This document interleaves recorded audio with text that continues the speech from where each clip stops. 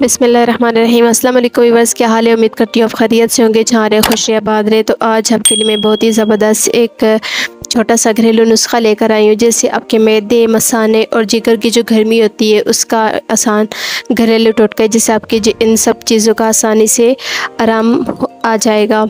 तो आपने इसके लिए क्या क्या चीज़ें इस्तेमाल करनी है, मैं आपको, आपके साथ शेयर करती हूँ, आपको बताती हूँ। तो उससे पहले आपसे रिक्वेस्ट है, अगर आप मेरे चैनल पर नए हैं तो मेरे चैनल को सब्सक्राइब कीजिए, मेरी वीडियो को लाइक कीजिए शेयर कीजिए बेल नोटिफिकेशन को ऑन कीजिए, ताकि आने वाली हर नई इन्फॉर्मेटिव वीडियो अब तक आसानी से पहुँच सके। तो जी, आपने क्या करना है? मैदे मसाने और जिगर की गर्मी के लिए आपने लेना है आलू बुखारे और इमली। आलू बुखारे के सात दाने लेने हैं और इमली के पाँच दाने लेने हैं। तो उसको आपने क्या करना है? मिट्टी के जो बर्तन होते हैं, उसमें आपने मिट्टी के बर्तन में या शीशे के गिलास में पानी डाल के इन दोनों चीज़ों को मिलाकर इसको भिगो के रख देना है।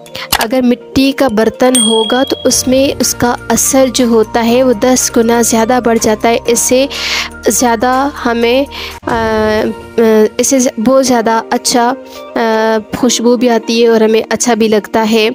तो इसलिए कोशिश करें कि मिट्टी का बर्तन आपको मिले। तो आपने फिर क्या करना है? सुबह हाथ से अच्छी तरह से मसल कर इनकी गुटलियाँ जो है वो निकाल देना है और हसब ज़ायका आपने मिठास इसमें डाल के, चीनी डाल के या कोई भी चीज़, जामी शीरी डाल के इसके अंदर मिठास डाल के आपने इसको निहार मुँह पी लेना है। निहार पेट, इसको पानी पी, इसका जो पानी होगा वो पी लेना है। अगर आप मीठा नहीं मिलाना चाहते तो तब भी आपकी मर्ज़ी, आप मीठा नहीं मिलाएँ। मीठे की जगह आप काला नमक भी डालकर इसको पी सकते हैं। तो इससे आपके मैदे, मसाले और जिगर की गर्मी फ़ौर गायब हो जाएगी।